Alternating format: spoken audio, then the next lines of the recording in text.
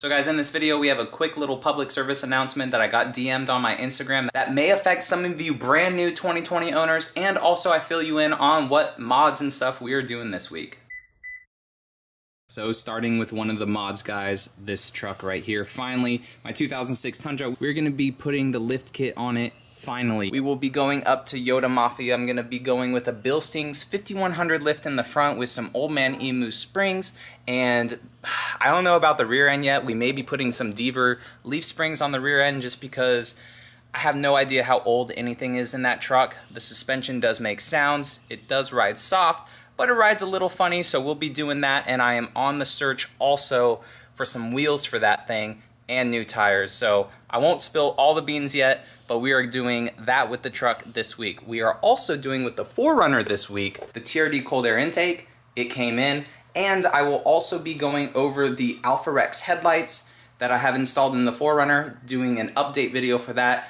And with that, I will be installing the just standard Pro series from them, which is their entry level ones. I'll be showing you guys the difference between LUXX over on the driver's side, the Pro with halogens, and then I'll be putting some LEDs that I bought into the Pro as well to, to show you guys which avenues you should take with the Alpharex headlights if you guys so choose to go that route. So what is this public service announcement? Well, over on my Instagram, I got DM'd. Guys, I'm not really in any of the forums, Facebook pages, anything like that for the 4Runner.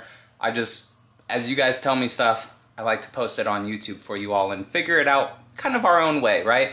Um, anyways, so Appalachian Venture, I'll leave his Instagram and everything and the IG video. He let me know that with the 2020s, there's a big issue right now with the screen scratching. So with the 2020, get that nice big screen with Apple CarPlay, Android Auto, Amazon Alexa, all that stuff. However, in this photo right here, you guys see, I guess this was derived from forums, I think, it's showing scratches. Now, if you guys are cleaning your vehicle yourselves, first off, good on you use microfiber. Please use microfiber, guys. It's cheap. You can get uh, big bundle packs and stuff at like Costco, uh, online on Amazon. Please use microfiber in your vehicle. And when you use it in your vehicle, don't do your whole vehicle with the same microfiber and then touch this glass of the screen. Apparently this glass is very scratchable. So his remedy for it, and I will also leave a link down in the description, is this nice glass film. Think of it as a screen cover uh, for your phone, right? It's for the tablet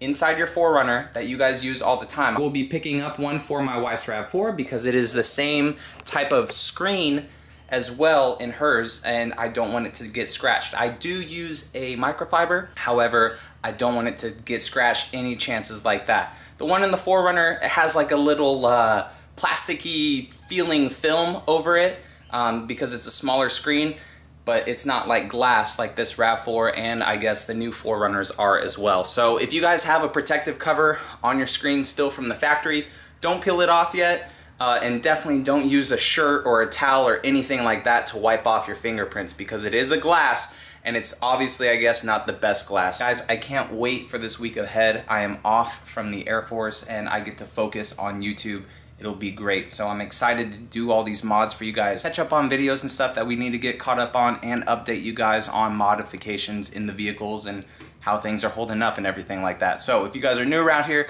please consider subscribing. Returning subscribers, as always, freaking appreciate it. And I will catch you guys in the next video. All right, see y'all later.